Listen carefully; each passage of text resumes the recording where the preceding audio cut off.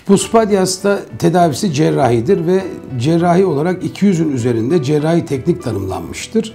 Fakat günümüzde bunların içinde en yaygın olarak kullanılan sünnet derisinin kullanılış şekline göre ada filepler yani oradan e, bir doku tüp ola haline getirilir ve bu tüp eksik olan e, üretra yani işeme yoluna eklenerekten bu yolun tamamlanması sağlanabilir.